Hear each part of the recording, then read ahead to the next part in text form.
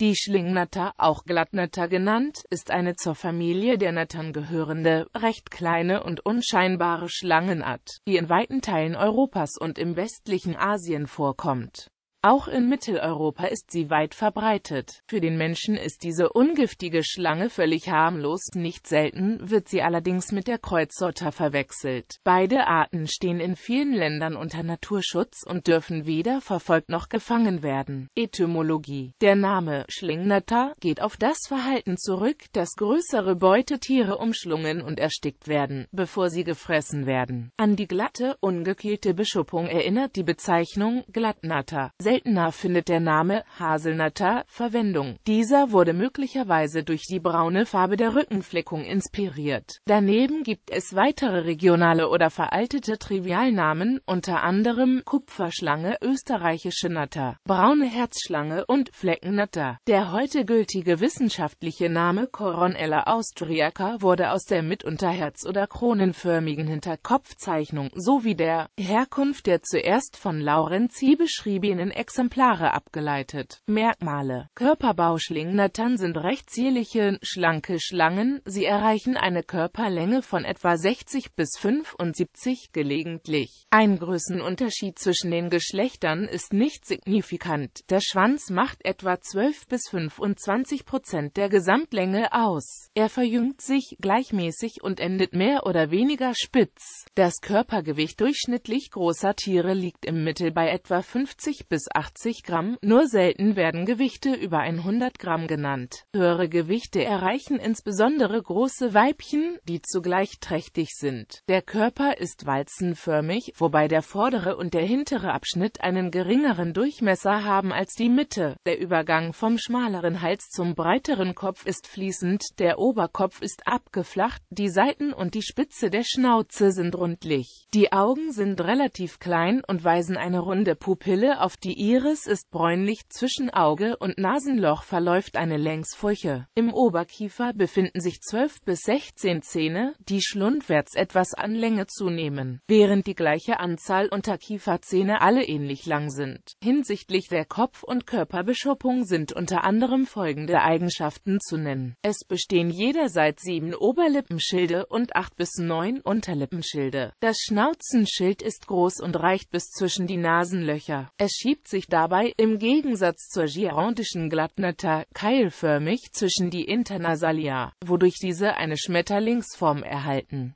die Nasenlöcher sitzen mittig in den Nasalen. Die größten Schilder des Oberkopfes sind die beiden länglichen Periodalia, die Körperschuppen sind glatt, besitzen also keinen Kiel. Direkt hinter dem Kopf sind sie eher rundlich und klein, schwanzwärts werden sie länglich und enden mehr oder weniger zugespitzt. Am Schwanz weisen sie eine fünf- bis sechseckige Form auf und an den Körperseiten sind sie breiter als auf dem Rücken. In der Körpermitte bestehen die Querreihen aus jeweils 19 Schuppen. Bauchschienen Schilden sind zwischen 150 und 190 vorhanden, Schwanzschilderpaare zwischen 40 und 70 das Analschild ist meist geteilt. Färbung und Zeichnung Die Grundfärbung der Oberseite ist grau, graubraun, bräunlich oder rötlich-braun. Bei Männchen dominieren braune bis rötliche Farbtöne, während die Weibchen oft eher grau sind. Jedoch ist die Färbung kein völlig eindeutiges Unterscheidungsmerkmal für die Geschlechter. An den Kopfseiten befindet sich je ein charakteristischer dunkelbrauner Streifen, der vom Nasenloch über das Auge bis zum Mundwinkel verläuft. Häufig setzt er sich auch noch noch bis auf die Seite des Halses fort, von wo er in kleine Einzelflecke übergeht. Auf der Kopfoberseite fällt ein Herz bzw. hufeisenförmiger dunkler Fleck auf, der sich häufig in zwei Längsstreifen auf dem Rücken fortsetzt, um sich schließlich meistens in zwei Fleckenreihen aufzulösen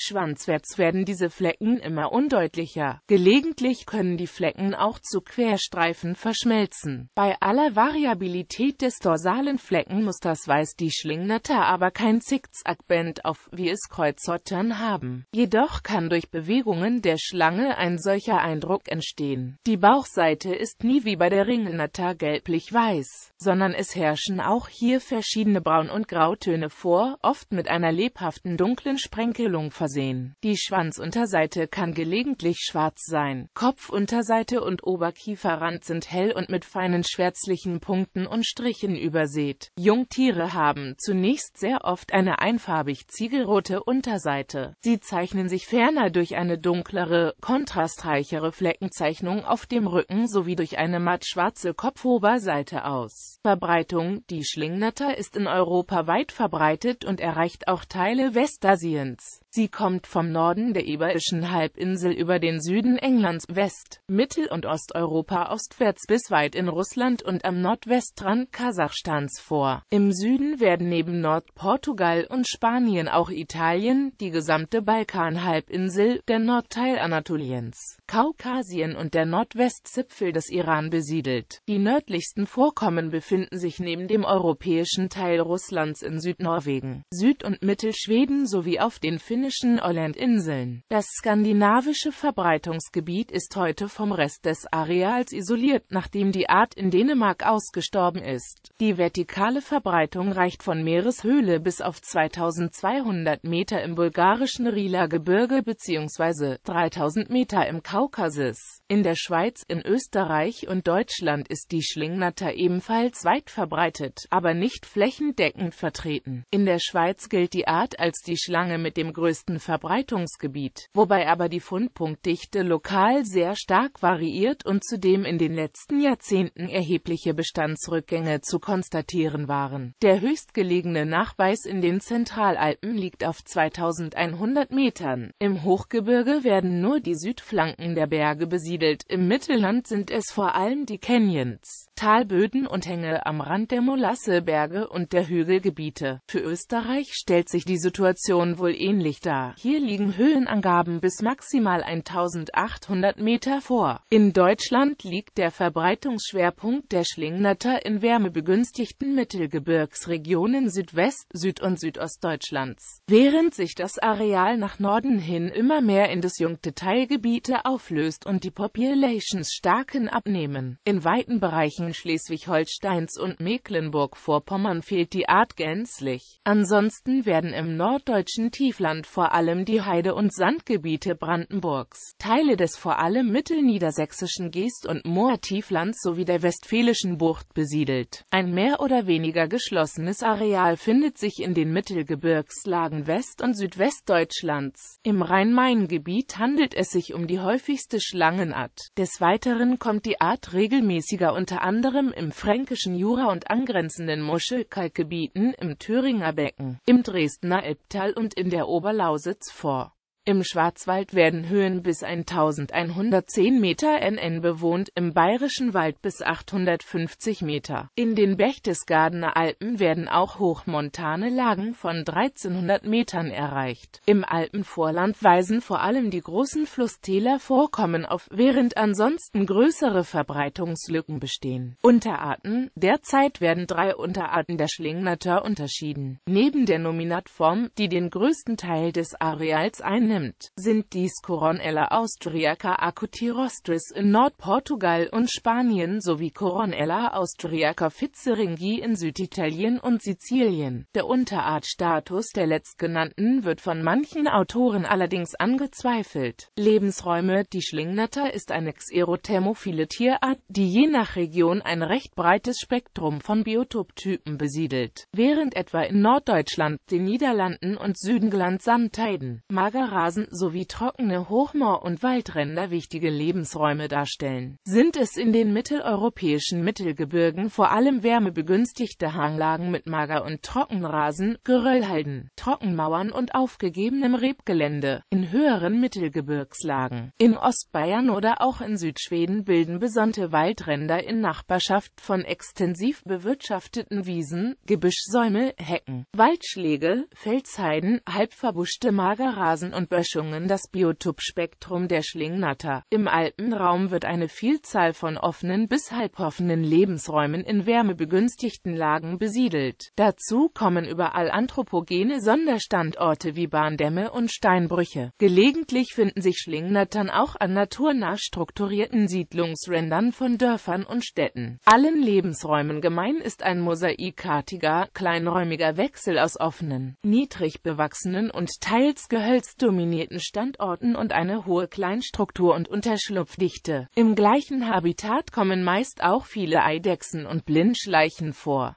Gelegentlich tritt zudem die Kreuzotter sind auf. Lebensweise In Mitteleuropa können Schlingnattern regelmäßig etwa zwischen April und Oktober beobachtet werden, gelegentlich auch früher und später. Die Winterstarre verbringen sie in Kleinsäuger-Erdhöhlen, Hohlräumen zwischen Steinen und ähnlichen frostsicheren Örtlichkeiten. Spätestens im Mai ist meistens ein erstes Aktivitätsmaximum zu verzeichnen. In dieser Phase kommt es zu den meisten Paarungen und zur ersten Häutung. Tageszeitlich sind die Schlangen je nach äußeren Temperaturen am Morgen bzw. Vormittag und am Abend oder um Mittag aktiv, um sich zwecks Thermoregulation der Sonnenstrahlung auszusetzen. Nachts bei großer Hitze oder kühlem, regnerischem Wetter ziehen sie sich an ihre Ruheplätze zurück. Ein Individuum kann ein mehrere Hektar großes Revier haben, innerhalb dessen es größere jahreszeitliche Wanderungen vornimmt. Andererseits wird die Art als ausgesprochen ausgesprochen ortstreu charakterisiert. Schlingnattern verharren oft regungslos und vertrauen darauf, dass sie die unscheinbare Färbung und das Fleckenmuster optisch mit der Umgebung verschmelzen lässt. Fühlen sie sich ohne Fluchtmöglichkeit in die Enge getrieben und bedroht, ringeln sie sich tellerförmig zusammen und heben den Vorderkörper S-förmig an.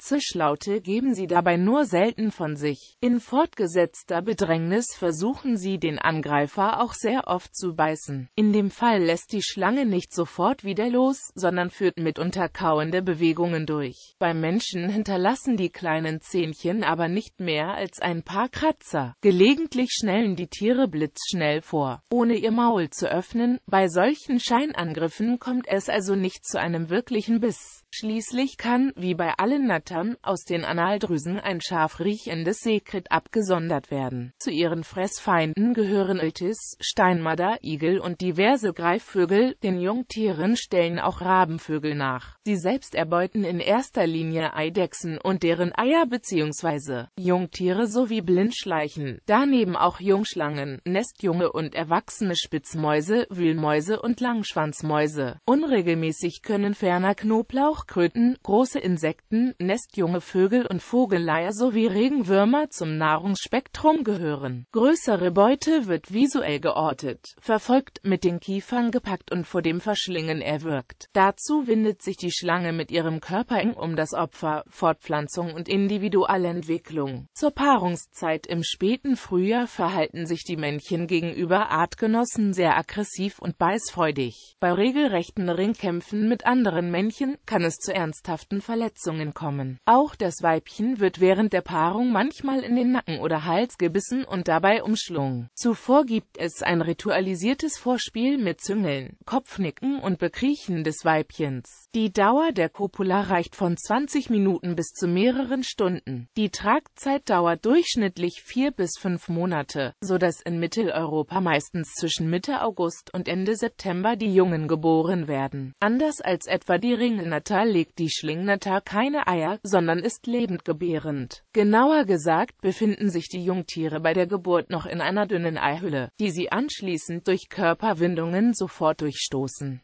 Jedes Weibchen gebiert zwischen drei und 15 Jungen, je nach Größe der Mutter. Die meisten Weibchen legen im Folgejahr eine Fortpflanzungspause ein, manchmal treten aber auch jährliche oder dreijährige Intervalle auf. Die Jungen sind bei der Geburt zwischen 12 und 21 Zentimetern lang. Kurze Zeit später kommt es zur ersten Häutung und sie gehen auf Nahrungssuche. Innerhalb des zweiten Lebensjahres verdoppeln sie etwa ihre Anfangslänge, um im dritten Jahr eine Größe von 30 bis 40 cm zu erreichen. Im dritten oder vierten Lebensjahr erfolgt bei einer Länge von 40 bis 50 cm die Geschlechtsreife, danach geht das Körperwachstum verlangsamt weiter. Innerhalb eines Jahres kommt es bei adulten Tieren zu ungefähr zwei bis sechs Häutungen. Als individuelles Höchstalter für Schlingnattern werden etwa 20 Jahre angenommen. Gefährdung und Schutz Die Schlingnatter steht in vielen Ländern streng unter Naturschutz und darf weder gefangen noch gar getötet werden. Dennoch kommt es immer noch vor, dass dieses für den Menschen absolut harmlose Tier erschlagen wird als vermeintlich gefährliche Giftschlange oder aus einem unterschwelligen Schlangenhass. Zwar werden viele Reptilien, selbst die Blindschleiche, aus Unkenntnis für bedrohlich gehalten, aber bei der Schlingnatter ist eine Verwechslungsmöglichkeit mit der Kreuzotter besonders groß. Für verschiedene Regionen werden starke Bestandsrückgänge der Schlingnatter innerhalb der letzten Jahrzehnte festgestellt. Die Hauptgefährdung geht dabei allerdings von Lebensraumzerstörungen aus. Durch die intensive Nutzung der mitteleuropäischen Kulturlandschaft und falsch verstandenen Ordnungssinn sind viele für die die Schlingnatter und andere Reptilien wichtige Biotope beseitigt oder entwertet worden. Nahezu überall gab und gibt es den Trend, abwechslungsreiche, unaufgeräumte Landschaft in großflächige, strukturarme, oft überdüngte Wirtschaftsflächen umzuwandeln. Dabei wurden Hecken, Staudenfluren, Felskuppen, Lesesteinhaufen, Trockenmauern und andere Kleinstrukturen beseitigt, Randstreifen und Übergangsbiotope begradigt, verbliebene Biotopinseln Stellen und Streifen sind oft zu klein und liegen isoliert voneinander, werden entweder gar nicht gepflegt oder aber zu intensiv. Dazu kommen weitere Faktoren wie fortschreitender Flächenverbrauch durch Siedlungs- und Straßenbau, das Verfüllen von Steinbrüchen, der Einsatz von Pestiziden, lokal auch häufige Störungen der Schlangen durch Freizeitbetrieb, freilaufende Hunde oder streunende Katzen. Gesetzlicher Schutzstatus FFH-Richtlinie Anhang IV